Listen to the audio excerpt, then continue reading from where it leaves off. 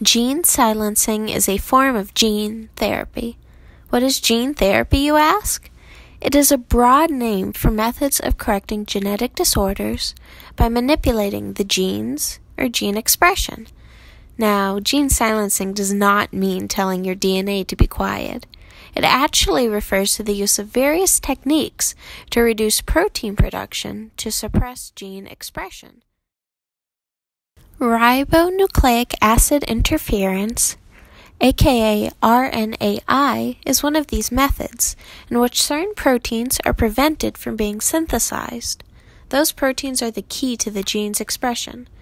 If the protein production is stopped or limited, then the gene cannot do what it was meant to do.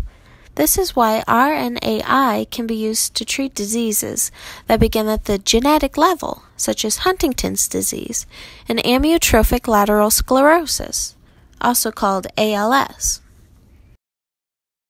Now that we've talked about what RNAi is and what it does, let's see how it works.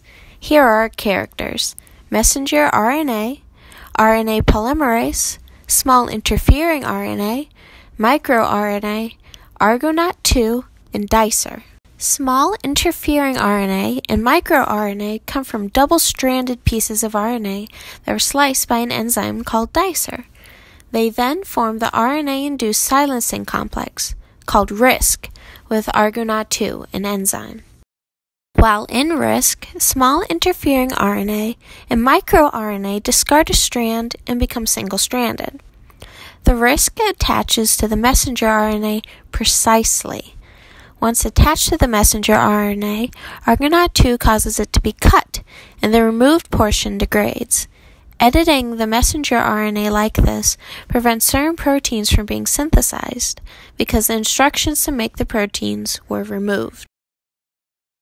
So, what did we learn today? RNAi is a form of gene silencing. It can occur naturally in eukaryotes and is recreated by pharmaceutical companies to create treatments for diseases, such as some cancers and Huntington's disease. Because of RNAi's versatility and ability to be precise, it can be used to treat numerous illnesses.